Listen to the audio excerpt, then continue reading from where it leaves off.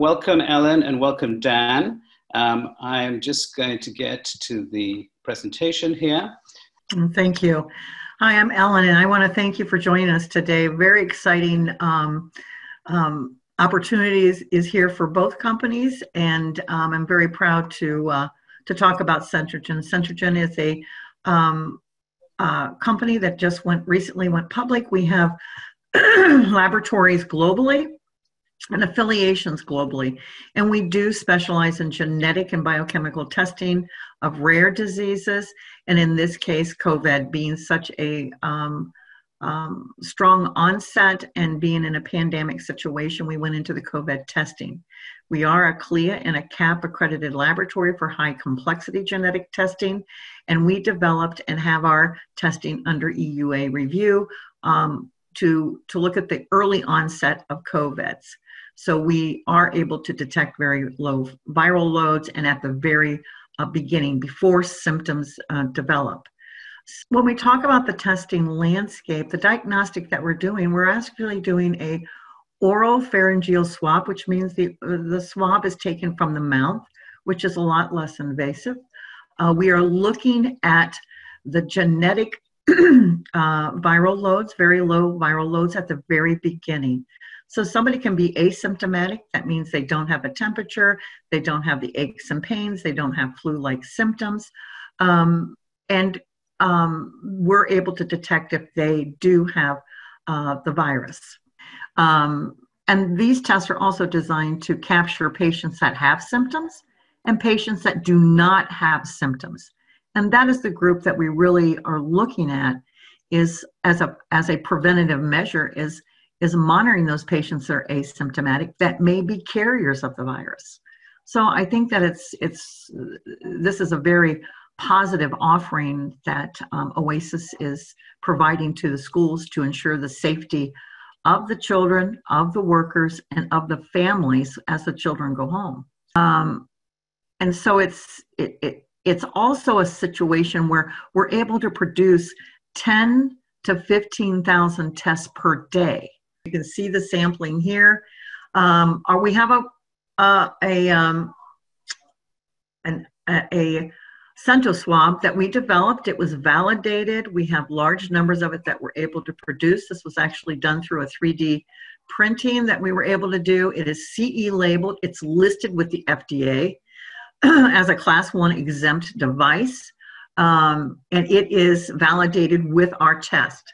So this is an all in one um, um, process. Everything has been validated to this testing. The testing has been validated to the swab. So everything is cross-referenced and um, is ready. Is it, it, it performs very well. They wouldn't have seen grandma coming at them with a swab.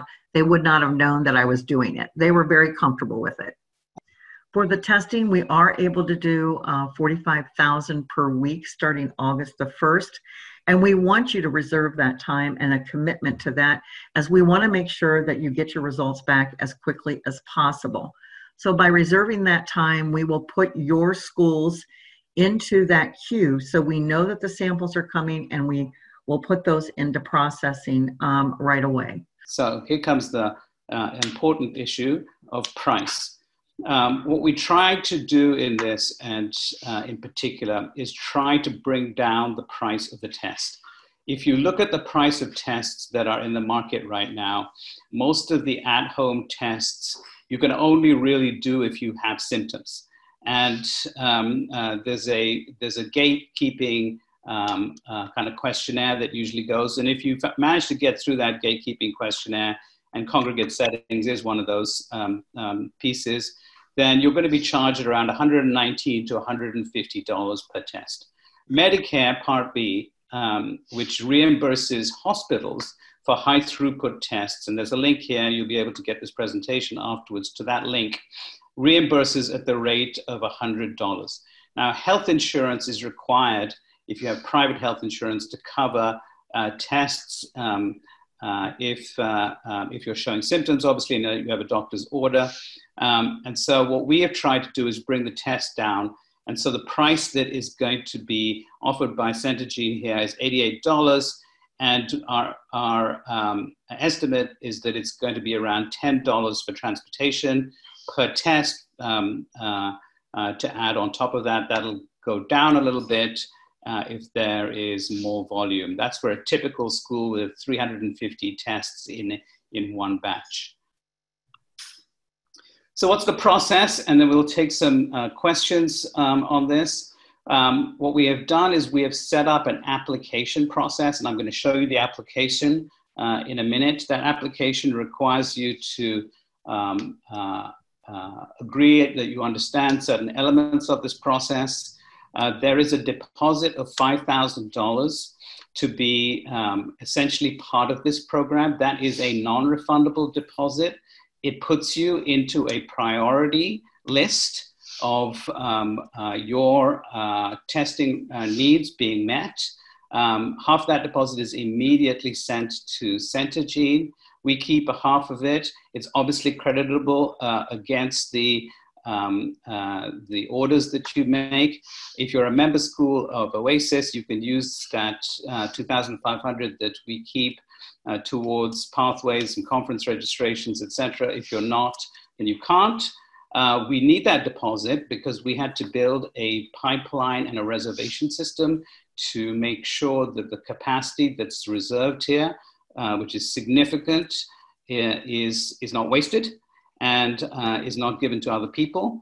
Um, the strategy here is essentially that you are probably uh, going to decide whether you're going to be uh, testing employees or students and employees. You're going to be deciding the timing, whether you're, whether you're phasing uh, various different elements or not. Um, you're, you're looking at the logistics. Um, you'll be dispatched the swabs once your orders are confirmed. Then Centogene will organize the delivery logistics with um, couriers that they've been working with for many years. Uh, you're probably going to be surveying the parent body. And in the meantime, you're going to be looking at the impact this will have on your reopening For the partnership um, uh, uh, piece of our website, you will see a partnership announcement. And if you go to application for school participation, you will see a link. Go to that link. And inside that link, you will see this form. Uh, this form asks you for all your information. You can ask questions. It asks you for when your school is currently scheduled to start. You can ask questions or you can show that you understand the process here. There's a lot of detail. Um, and so use this form to either register and apply uh, for your deposit or to ask questions. We've done it this way so that the questions are related to particular areas and we can process this because we think that um, um, many schools are going to be interested in this. And with that, I'm going to stop sharing.